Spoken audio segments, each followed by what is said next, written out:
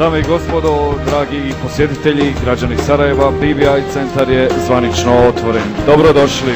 Ladies and gentlemen, dear visitors, BBI center is officially open. Welcome.